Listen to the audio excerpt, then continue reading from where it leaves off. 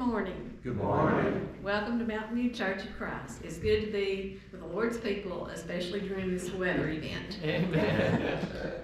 A special welcome to any visitors we may have this morning. We will begin our worship together with a reading from 2 Peter chapter 1 verses 3 through 4. His divine power has given us everything we need for a godly life through our knowledge of him who called us by his own glory and goodness. Through this, he has given us his very great and precious promises. Now please stand as we sing.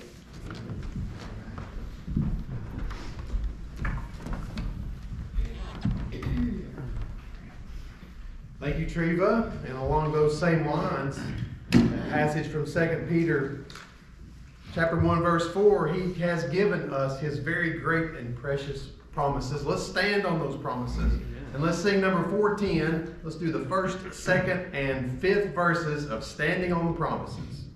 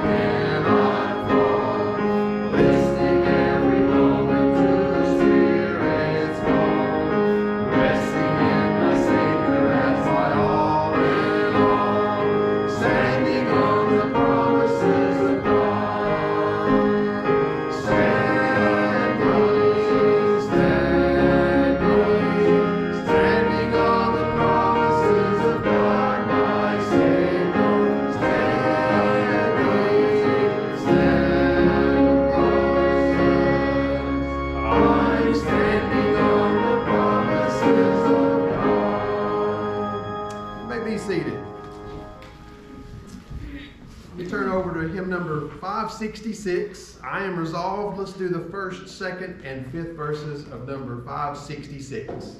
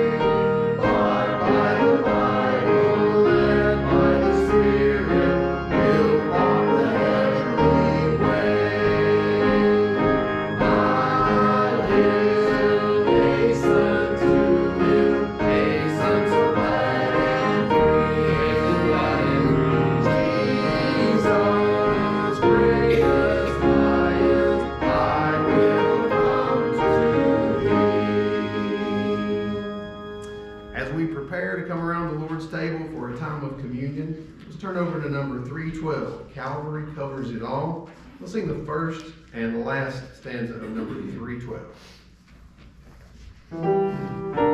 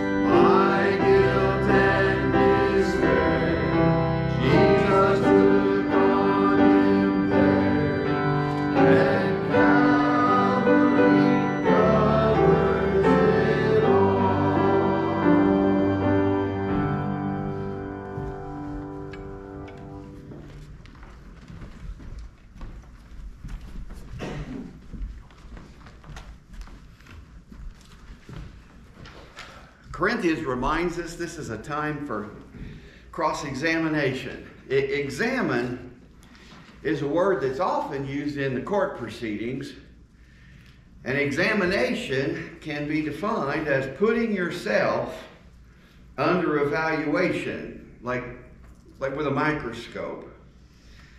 This type of examination is for our own good, like when we visit the doctor some examinations are done with great care and great precision.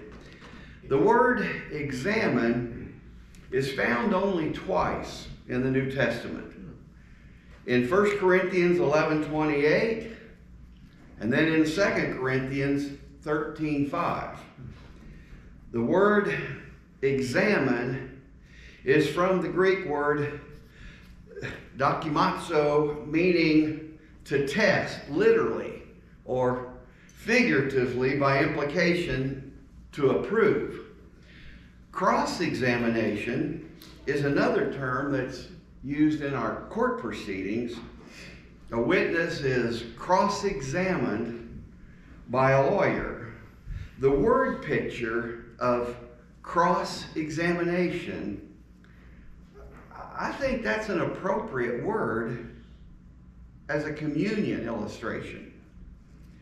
Communion is a time for cross examination, a time to look at ourselves from the cross's point of view.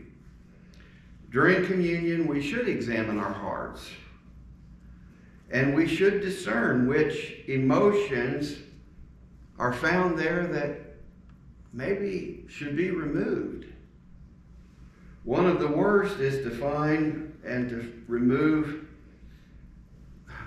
bitterness of heart. The Bible calls it unforgiveness. Proverbs 14:10 says, "Each heart knows its own bitterness, and no one else can share its joy." We need to examine our hearts to see if there's unforgiveness for any person in our life.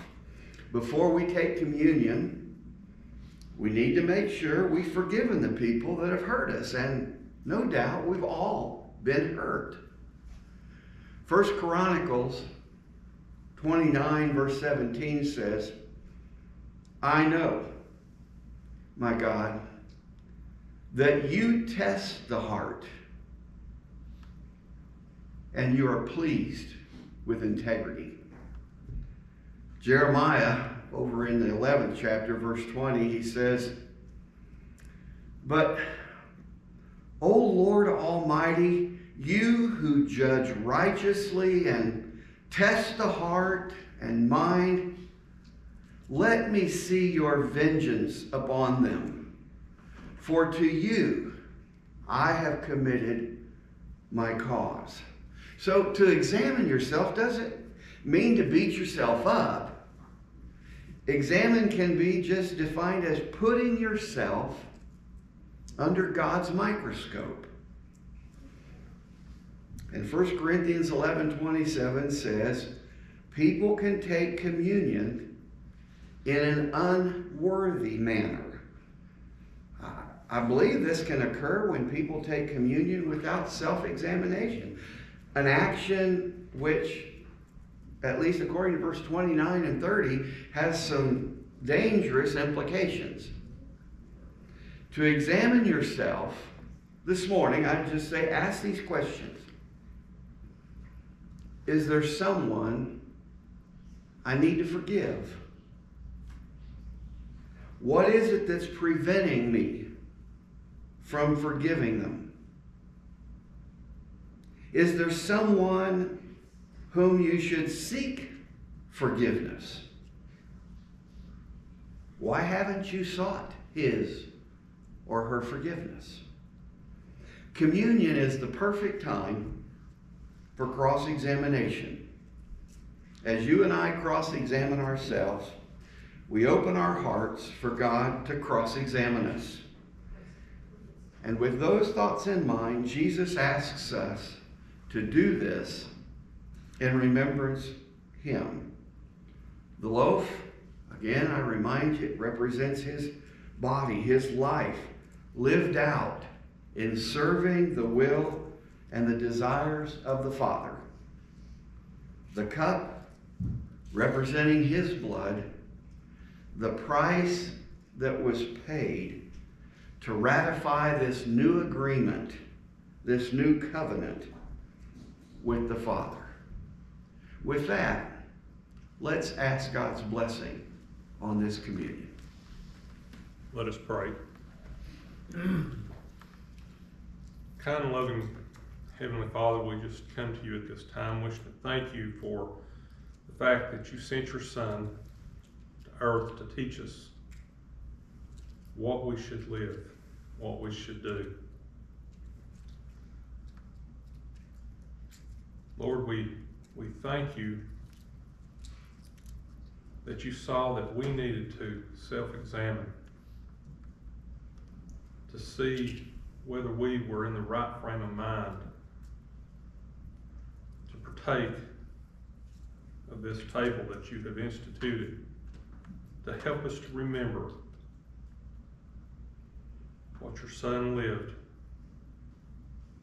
through this loaf his body, his teachings, but also that we need to examine ourselves and make sure that we are in the right frame of mind, free of bitterness, knowing where we fall short, where we need to strive better, because we know that we're unworthy of the blood that was shed for us on the cross. Lord, we thank you for this time that we can come together, that we can remember the sacrifice that your Son made for each and every one of us. For it is in his name that we pray.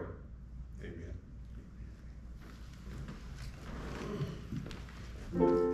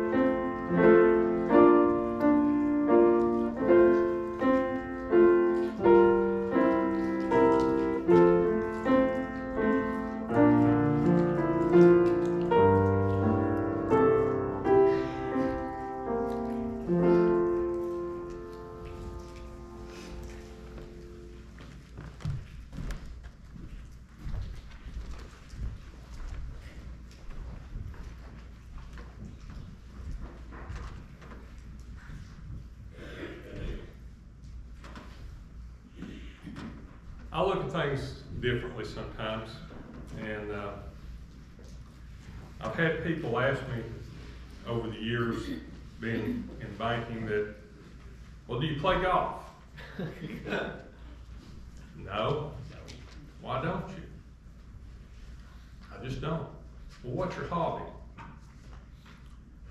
Well, I kind of like farming. Oh, you farm? No, I play.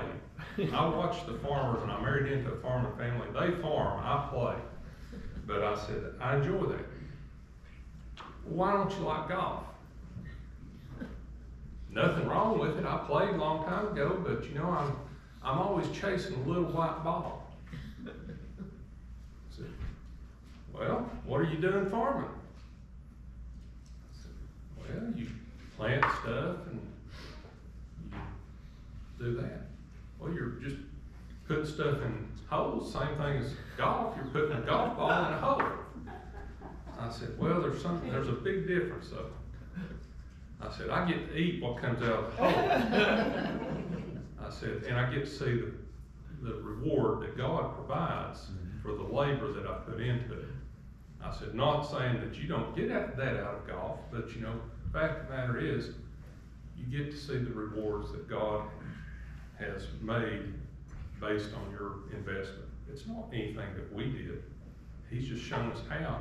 And if we do what he asked us, then we'll reap the rewards. I'm sure there's rewards in golf. You can probably ask Tiger Woods, Arnold Palmer, and all like that, and they can tell you the rewards of it. But all that being said, why do you work? We don't work for fame or fortune. Some people do, but I think they've got it misplaced. We need to work for God's glory. Mm-hmm. And if we can, if we put God's glory first in our work, then everything comes second hand. We're just, we're asked to be good stewards of what God's entrusted to us, and that's what we should all strive for.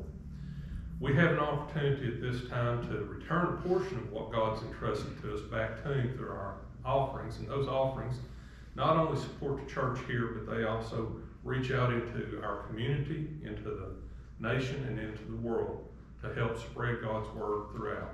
And that's what it's all about. So we'll take this opportunity to pray over the offering, and you have an opportunity to do so at any time during the service. So let's pray.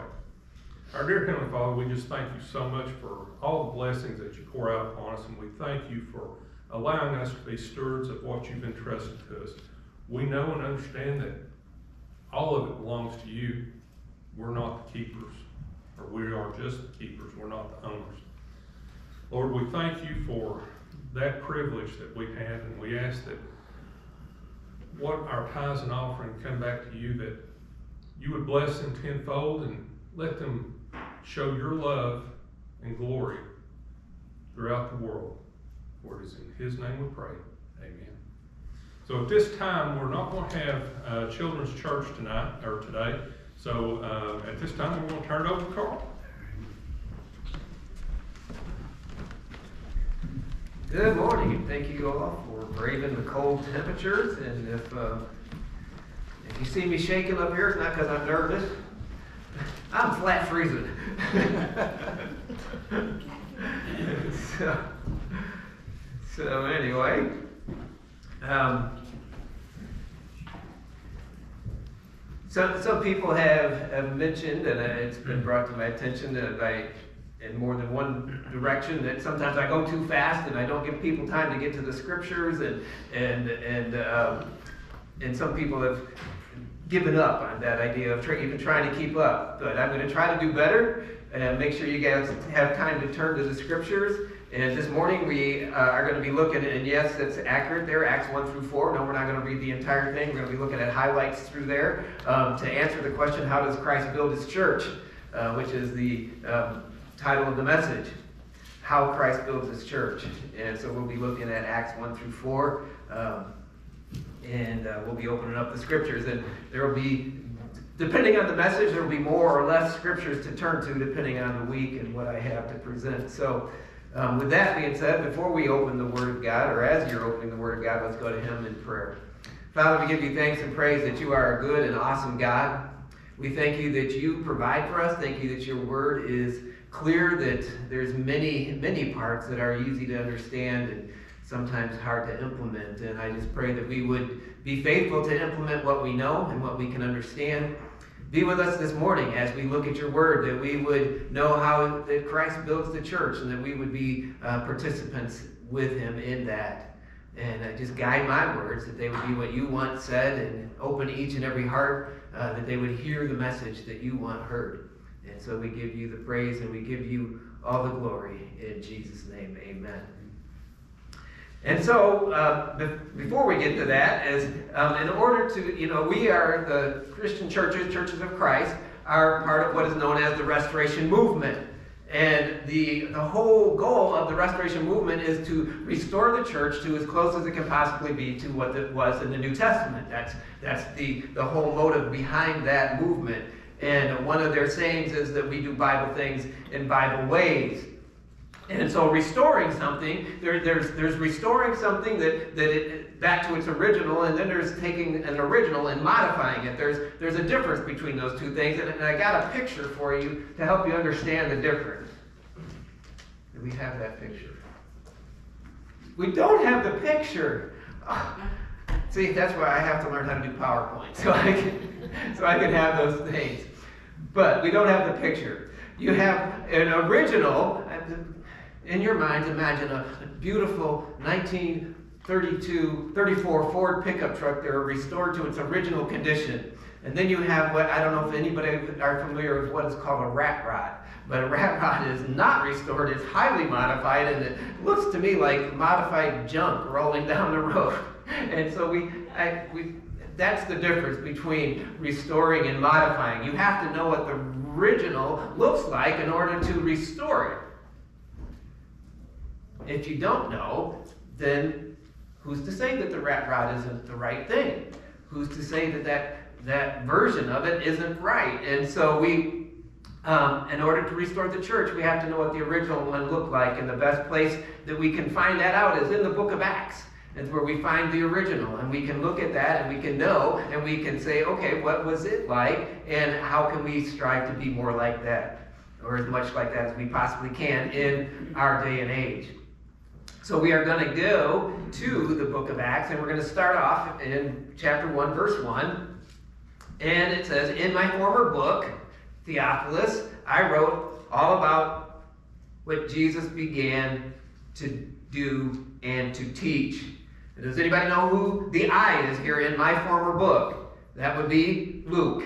Luke wrote the, the Gospel of Luke. He's also the author of Acts, and he wrote a book in uh, two. The first one, the Gospel, was written to Theophilus to present to him the truth that Jesus was the Christ. And this is a follow up, and it says, In my former book, Theophilus, I wrote about all that Jesus began to do and to teach until the day he was taken up to heaven. That's the first part of verse 2.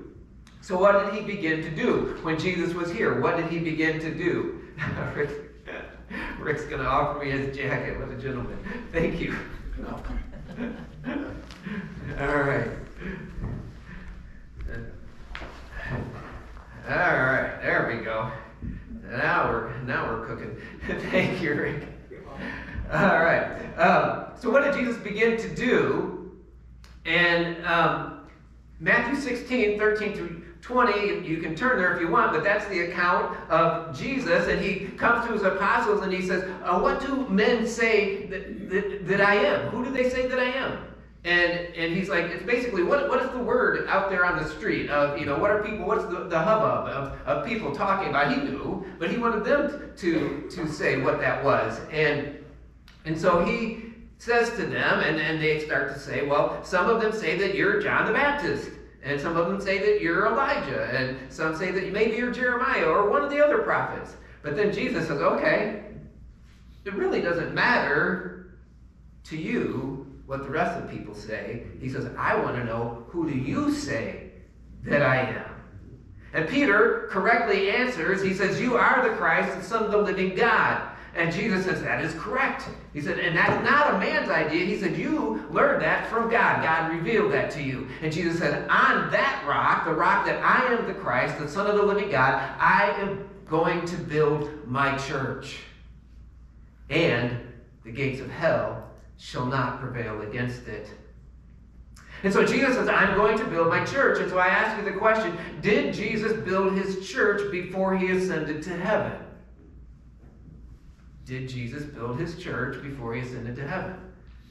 The answer is no. He didn't build his church before he ascended to heaven. So we have here in the text that says what he began to do and to teach until the day he was taken up to heaven. So he began, some, he set in motion the process of building his church by training the men who he would turn that process over to. He trained the apostles. They were going to be the ones that would start the church and begin to build it. He began it by training those men. He did not complete that work. And they, in turn, turned it over to those that they won to Christ, and they, in turn, turned it on. And we then carry on that mission. Jesus Christ, the thing that he began to do, he continues to do through you and through me. He builds his church through us. But again, how does he do that? It says he gave them instructions here before he was taken up in our verse until the day he was taken up from heaven, taken up to heaven after giving instructions through the Holy Spirit to the apostles he had chosen. So he was taken up into heaven. And, and, and, you've often heard that somebody's last words, especially last words before they're dying, are ones that you want to pay attention to. But even more so, I would think, uh, last words of someone who's in charge and they say, This is what I want you to do while I'm gone you're going to want to pay attention to those words. And, and, and some of those words, those instructions that he gave before he was taken up, are very familiar. And that is found in Matthew 28 18 through 20, where he said, um, All authority in heaven and earth has been given to me. Therefore, go into all the world and make disciples, baptizing them into the name of into the name of the Father and the Son and the Holy Spirit, and teaching them to obey everything that I have commanded you. And so that was part of his instructions to them. He tells them to go into all the world go into all the world. And you're very familiar with that passage, but less familiar is, enough, is the rest of those instructions that he gave. And this is in Luke, and I do want you to turn there. Luke chapter 24, verses 46 through 51. Luke 24, 46 through 51.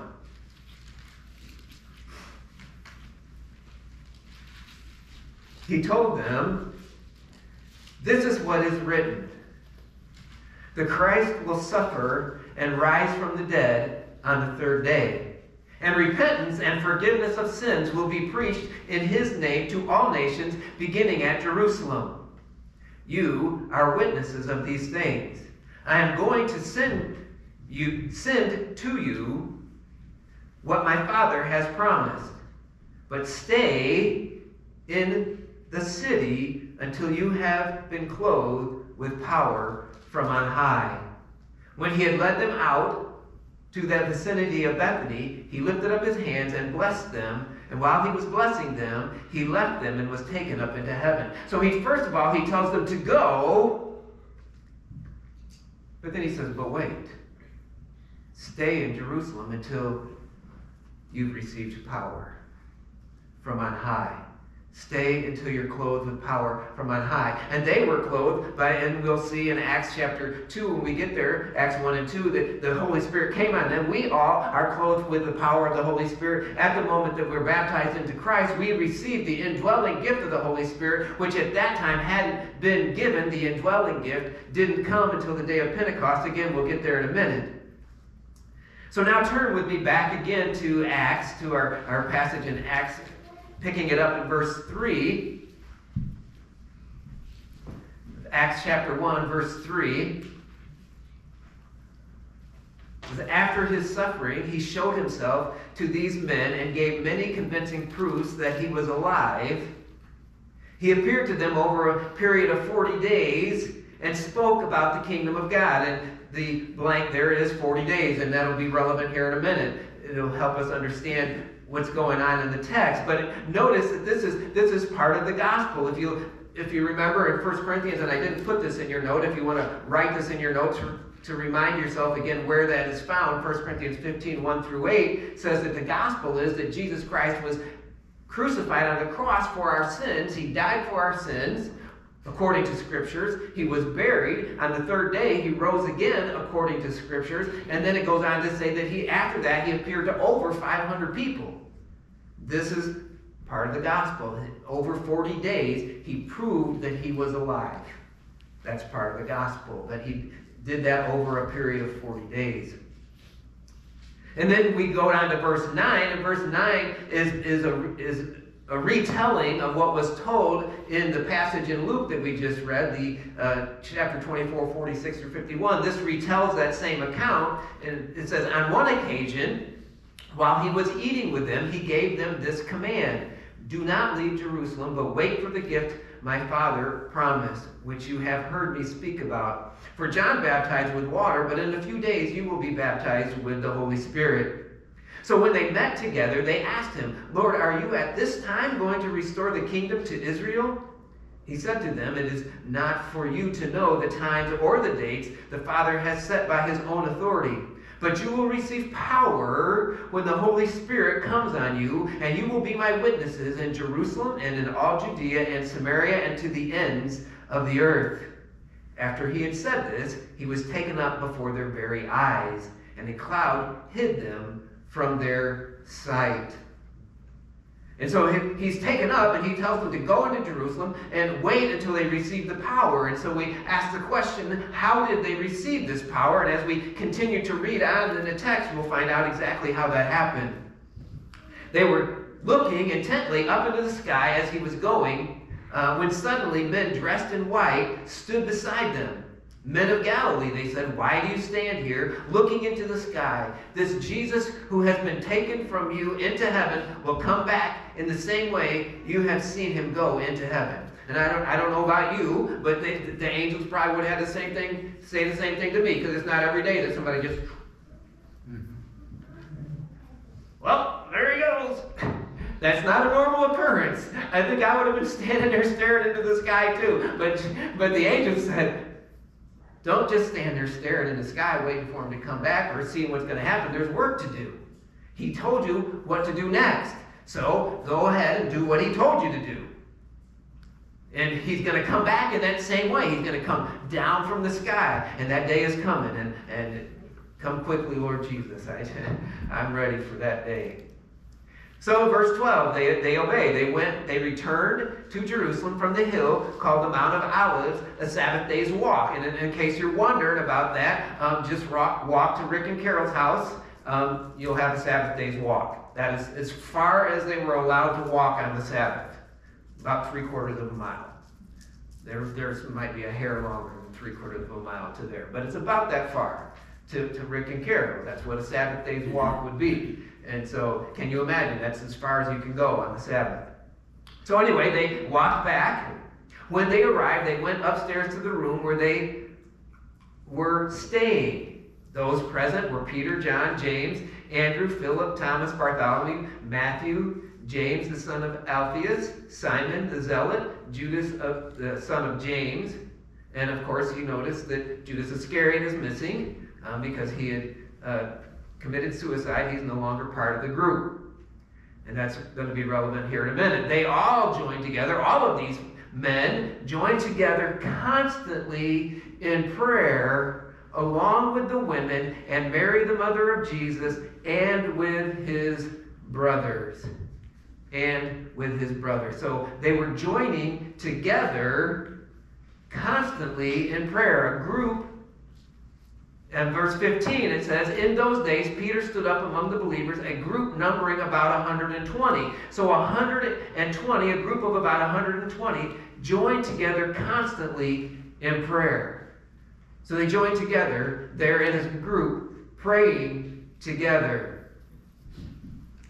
And so we won't go into reading this whole passage, but picking it up in verse 16 is the account of how the apostles replaced Judas. Judas wasn't there. They needed to have 12 apostles. They, they uh, set up two men. They, they talked about it, but I want to focus specifically on verse 24. in the middle of this in, uh, intense time of prayer, of group continuous prayer, they take time, at least part of the time, to pray specifically about the replacement of this leader. Verse 24. They then they prayed, Lord, show, Lord, or Lord, you know everyone's heart. Show us which of these two you have chosen to take over this apostolic ministry, which Judas left to go where he belongs.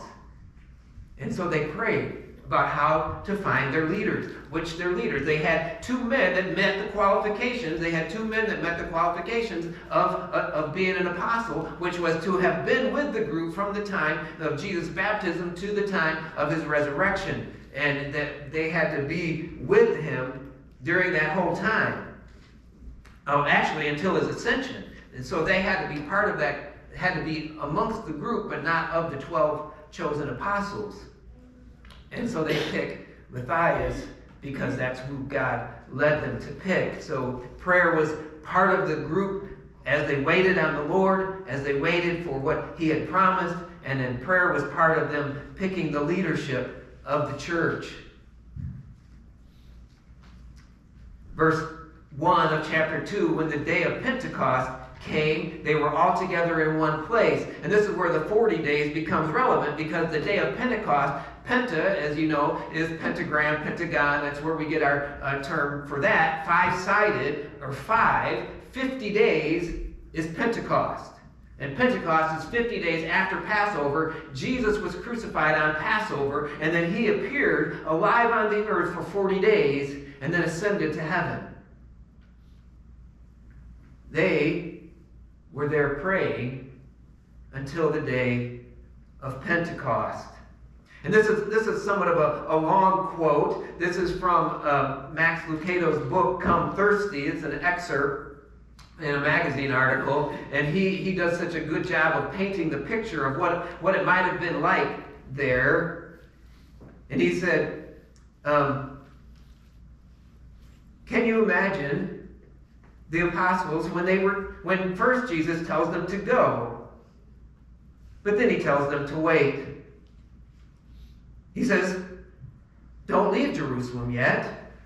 Wait here for the Father to give you the Holy Spirit, just as I told you he, he has promised to do. Jesus' word to the disciples wait. Before you go out, stand still. Prior to stepping forth, sit down. Stay here in the city until the Holy Spirit comes and fills you with power from heaven. So they do. They went to the upstairs room, to the house where they were staying. They all met together continually for prayer, along with Mary, the mother of Jesus, several other women, and the brothers of Jesus. They have reasons to leave. Some have businesses to run, or farms to field, or fields to farms. Besides, the same religious leaders and soldiers who killed Christ still walk the streets. The disciples have ample reason to leave but they don't. They stay. And they all stay together. They all met together continually. As many as 120 huddled in the same house. One day passes, then two, then a week. For all they knew, a hundred more will come and go. And I'll just insert here because Jesus didn't tell them how long they would be waiting. He just said, go wait. And waiting is almost always the hardest thing to do. Just wait. But they, are, they weren't leaving. They persisted in prayer and in waiting. Then 10 days later, power came. And then this is Acts chapter 2, verses 1 through 4. On the day of Pentecost, seven weeks after Jesus' resurrection, the believers were meeting together in one place. Suddenly there was a sound from heaven like the roaring of a mighty windstorm and it filled the house where they were meeting. Then what looked like flames or tongues of fire appeared and settled on each of them, and everyone present was filled with the Holy Spirit. Doubters became prophets. Peter preached, and people came, and God opened the floodgates on the greatest movement in history. It began because the followers were willing to do one thing wait in the place, in the right place for power. We're so reluctant, reluctant to do what they did. Who has time to wait? We groan at such a thought, But waiting doesn't mean inactivity, rather, it means in Him activity. Waiting means watching. If you're watching, waiting for the bus, you're watching for the bus. If you are waiting on God, you are watching for God, searching for God, hoping in God. Great promises come to those who wait. It says in Isaiah 40 31, but those who wait on the Lord will mount up on wings as eagles, and they will fly high, and they will run and not grow weary. They will walk and not faint. To those who still struggle, God says, wait on me. Wait in the right place. Jesus doesn't tell us to stay in Jerusalem, but he does tell us to stay honest, stay faithful, stay true. For 10 days, the disciples prayed. 10 days of prayer plus a few minutes of preaching led to 3,000 souls saved. Perhaps we invert the numbers. We're prone to pray for a few minutes and then preach for 10 days. Not the apostles. They lingered in his presence. They never left the place of prayer. Biblical writers spoke often of this place. Early Christians were urged to pray without ceasing. Always be prayerful. Pray at all times on every occasion. Remember the adverb continually. That described the upper room prayer of the apostles. It is used to describe our prayers as well. Continue earnestly in prayer, being vigilant in it with thanksgiving. Colossians 4 2. And so they're just waiting. Can you imagine waiting? Unended, open ended, not knowing how many days, just waiting, waiting, waiting. But they were there, faithful in prayer, waiting. And after 10 days of continuous, concerted corporate prayer, the power of God came on them. It was after prayer that it came. And 10 days of prayer, as he said, followed by one sermon, led to 3,000 people getting saved. And it was interesting. We were part of a church in northern Illinois, and, and the, the leadership of the church had come across this article talking about a, another church that had grown tremendously. And, and the method that they had used was that the people in the church simply wore a little button that said, Ask me, with those little round metal buttons that have the pen, and you, and, you know, and it just said, Ask me. And, and, and, people would go, well, well, ask you what? And they would say, Well, ask me about Jesus. And so the people would say, Well, what about Jesus? And so that would give them the opportunity to share the gospel. And, and so the leadership of that church said, Well, if it worked for them, it'll, it'll work for us. And so they actually bought the little machine where you put those things together. They printed out the little Ask Me things and they assembled them all, stamped them all together, and everybody in the church, uh, and it was a church of about 350, and, and everybody in the church was wearing them. And, and, and at the end of the campaign, we had no results. None. Zero. Well, what they missed in the article about the Ask Me button was that this congregation that had used the Ask Me button had prayed for three months. Three months they prayed before they put the buttons on and went out among the people.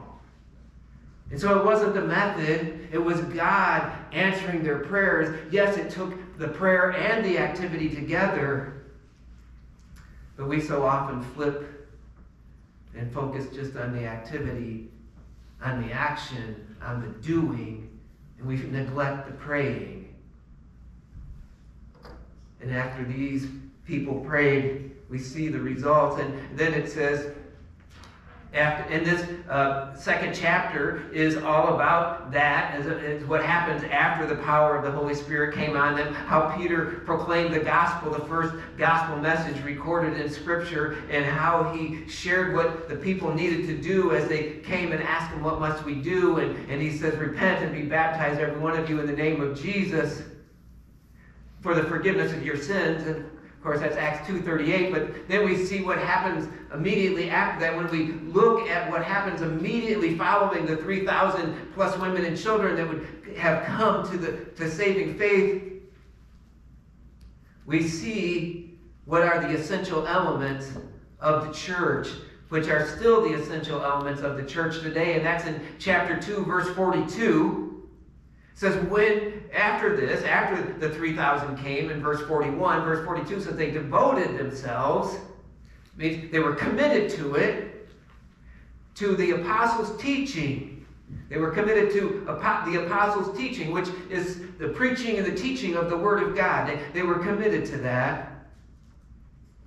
And they were committed to fellowship. And fellowship, fellowship will uh, it does happen here on Sunday mornings before church starts, and, and, and that's a it's a great thing to hear the people interacting, and fellowship will happen around the potluck meal coming up on the 11th. But this word, the word fellowship here, actually has a more, more of an intense meaning than that. And, and I don't know if you've noticed the difference between the fellowship of, of just having a good time together and actually working on a project together and accomplishing the project together. It's a different kind of fellowship. It's a different kind of camaraderie. And that's what's being talked about here the fellowship of partnership, of, of contributory help, of working together to an end goal.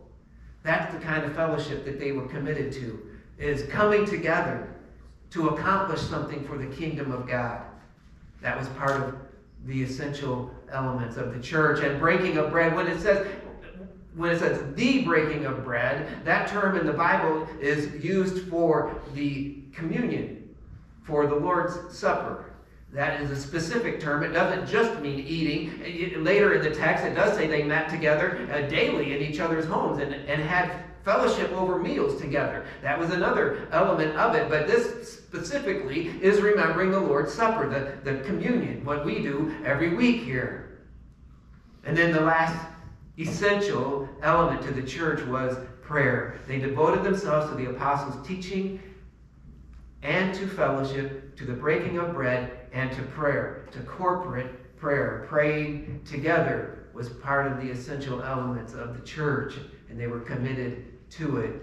And then you can read down through there, and you come to the end of verse 47, the last part of verse 47, and we see what happened when they were committed to these four things. It says, And the Lord added to their number daily those who were being saved. Wouldn't that be a glorious day to see the Lord adding daily to the kingdom through what we do here? We long for that day and we can pray towards that end. The Lord added daily. And it's interesting, the next uh, verse, verse 3 says, One day Peter and John were going up to the temple at the time of prayer at 3 in the afternoon. They had a daily time of prayer. They had a prayer time every day, and they were on their way to go daily to the temple to pray. And, and we are looking and planning into the future of having a time of prayer. It won't be a daily time of corporate prayer, but we are, are going to have a regularly scheduled time of corporate prayer, and that will be coming in the future, and we'll give you more details as those come. But this uh, next Sunday, the 28th, we will be having a time of prayer after the, the Bible study uh, on Sunday night, and we'll be having a time of prayer specifically for the upcoming Creation Truth event. And we've put a handout in your bulletin. You can begin praying these things now ahead of time uh, in your daily times of prayer. You can start to pray for that event, that the Lord will use that event uh, for, for His kingdom's sake. And then we'll have that united time of prayer next Sunday evening. And verse, picking it up in verse 2 of chapter 3, uh, going all the way through um, verse 17 is the account of Peter and John. They're on their way to the temple. They, a lame man is being brought in who's been brought there every day and laid there and just waiting for someone to give him some money. And they see him and they heal him. And, and the healing of this man is uh, obviously a miracle. And everybody's like, whoa, this guy's been lame. I mean, I grew up my whole life. Every day I pass by, there he is, there he is, there he is, there he is. Now he's walking around, jumping up and down, praising the Lord. What's going on? And so they come together, and, and Peter uses that opportunity to preach the gospel to them. And, and if you read the text, he, he wasn't playing. He says, this, How did this guy get healed? It's in the name of Jesus, whom you crucified. You killed him. God brought him back to life, and it's in his power that we healed this guy. And so the people are, are, are just drawn to that, and they're preaching the resurrection. The Sadducees aren't happy about the fact that they're preaching the resurrection because the Sadducees didn't believe in the resurrection. So the Sadducees haul them in and they question them and they say, How, What's going on here? Peter again. Well, it's that Jesus whom you crucified, who God brought back to life, in his name and in his power we healed this guy. And so they're not real happy about this because there they are teaching the resurrection and talking about Jesus and everybody's going after them. And so they're trying to figure out what to do. The Sanhedrin and, and the religious leaders are trying to figure out what to do. And they couldn't. They're like, everybody knows that this miracle happened. This guy's dancing around. We can't get him to be quiet. And and then one of the things that they noticed in verse 13 of chapter 4 says, When they saw the courage of Peter and John and realized that they were unschooled, ordinary men, they were astonished and took note that these men had been with Jesus. And if they could only say that about us. Wow. I don't know what else about that guy, but I can tell he's been around Jesus. And I just I pray that that's what they would say about me and about all of us. They've been around Jesus. And so they continue to question him, them, and then in verse 18, they called them in and again and commanded them not to speak or teach at all in the name of Jesus. And so there they are, they're being threatened. They're, they're like, we, we should punish these guys, we should whip them, we should put them in prison, but then there's going to be a riot because everybody knows that they did this miracle, and so we'll just threaten them. And so they threaten them. So how did Peter and John respond to that threat? Verse 19 Peter and John replied, Judge for yourselves whether it is right in God's sight to obey you rather than God. For we cannot help speaking about what we have seen and heard. So I, I would say they, they politely stood up to them.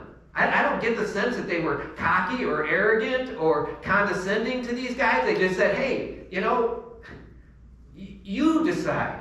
Should we listen to you or should we listen to God? But we cannot help talking about what we've seen and heard. And is that what's the testimony of your life? I can't help but talk about what Jesus has done for me. And, and, and I've said it before, and I'll say it again. If Jesus hadn't saved my life, I would have either been dead or in prison years ago because I wasn't a very nice guy. But Jesus saved. Jesus changed me. He, he, he's molding, he's continuing to change me. There's still things that he needs to do in me, and he continues to change me. And I'm so thankful for him and what he's done for me and how he's changed me. And, and I want to, to, to just continue to grow to where I get to the point where I can't help but talk about Jesus. Is that where we are? Well, they, they say that, and then verse 21 after further threats, they let them go. They couldn't decide how to punish them because all the people were praising God for what had happened. For the man who was miraculously healed was over 40 years old. So, what do they do next? What is their response after they've been threatened again and released? Verse 23 On their release, Peter and John went back to their own people and reported all that the chief priests and elders had said to them. So they went back to the church. They went to church. They went to where the body of Christ was meeting. They went back and, and they went to give them a report of what had happened. And did they give them that report um, so that they could complain? Oh, you can't believe what happened to us. Those guys, those. Uh, those religious leaders, we were trying to do a good thing and they, they shut us down. Or did they go there to have a pity party and to get sympathy? Did they go there so that everyone would be afraid and, and, and be quiet? No. Verse 24. When they heard, when they, the church, heard this, they raised their voices together in prayer to God. They informed all of these people so that they could pray, so that they could pray intelligent prayers, so that they could pray informed prayers. They wanted the people to back them up in prayer. They prayed. But look, it matters who we pray to. Look what it says. When they heard this, they raised their voices together in prayer to God.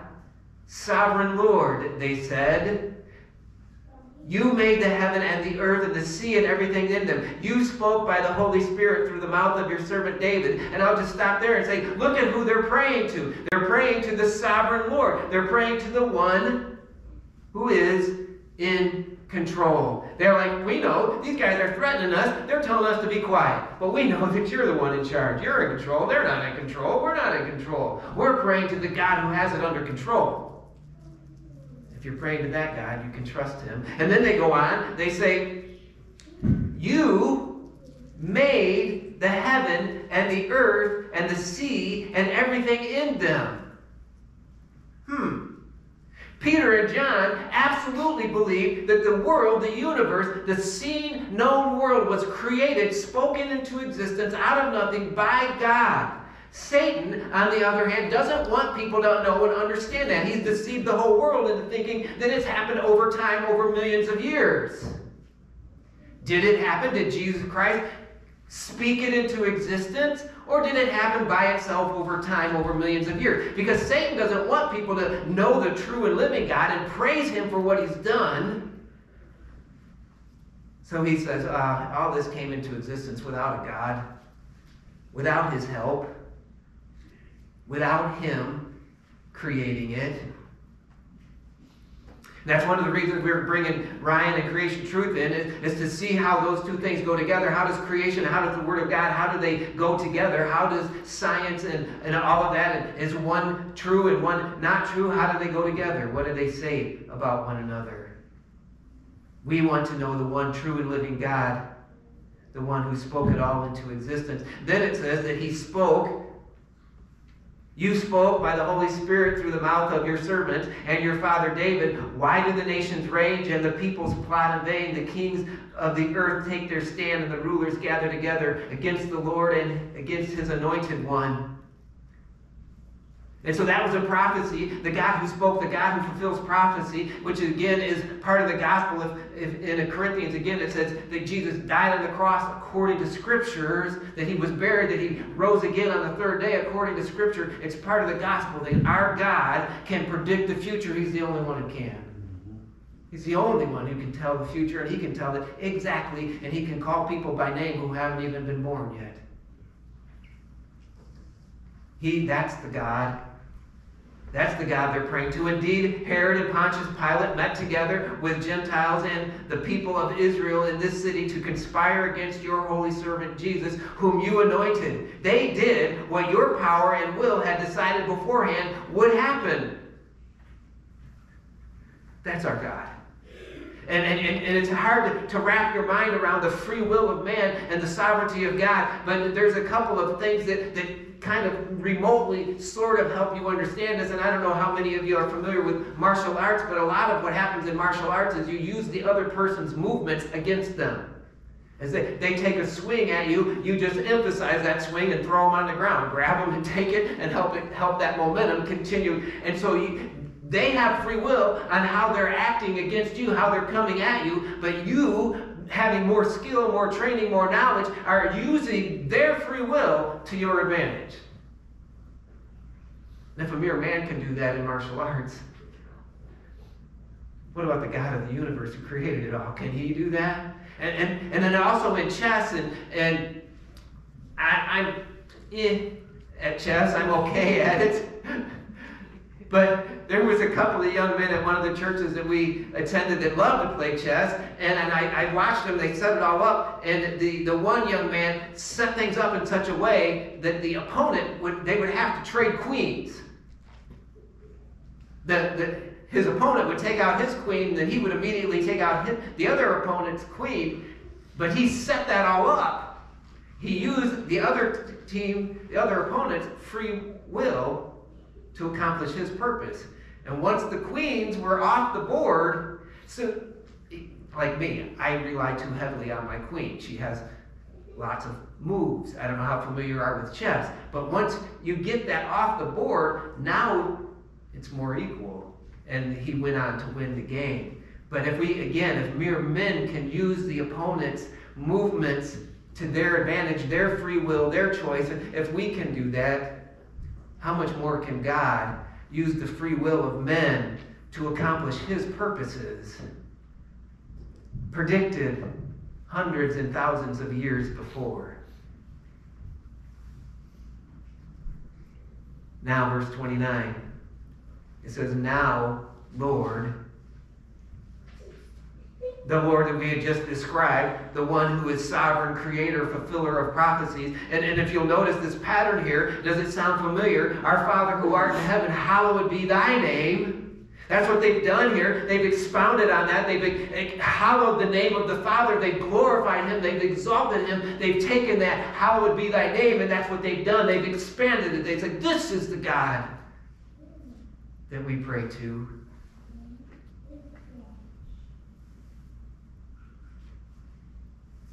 Now, Lord, consider their threats and enable your servants to speak your word with great boldness. And there it is. Uh, our Father who art in heaven, hallowed be thy name. Thy will be done on earth as it is in heaven. Here they're asking the Lord. They've hallowed the name of the Lord. Now they're asking for his will to be done. Enable your servants to speak your word with boldness. Consider their threats and help us to be more bold. May we have that mindset.